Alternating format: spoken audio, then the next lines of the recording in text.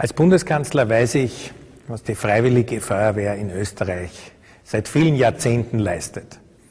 Und daher ist es für mich ein guter Anlass, der Freiwilligen Feuerwehr Böchlern zum 140. Geburtstag aus ganzem Herzen alles Gute zu wünschen.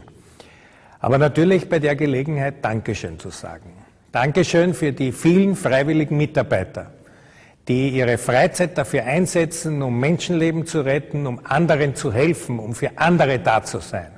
Das macht Österreich stark.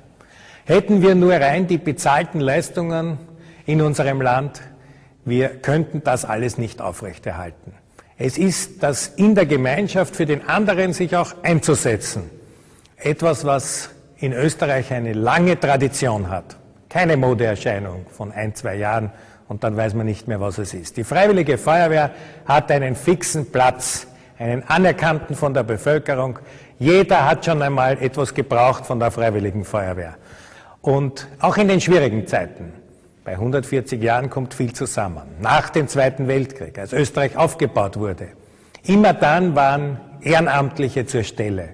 Daher ein aufrichtiges Dankeschön an alle Helferinnen und Helfer, an alle Mitarbeiter, und alles Gute für die nächsten 140 Jahre.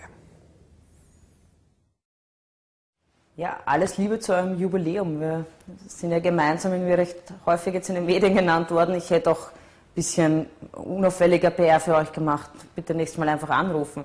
Nein, ganz im Ernst, noch einmal ein herzliches Dankeschön. Ähm, ihr wart so schnell da und ich wünsche euch alles, alles Liebe zum Jubiläum. Der, euer Bürgermeister hat mir verraten, dass ihr 140 Jahre Freiwillige Feuerwehr Böchlern feiert. Und leider kann ich selber nicht kommen, aber wünsche euch von hier aus alles Liebe und noch einmals ein herzliches Dankeschön.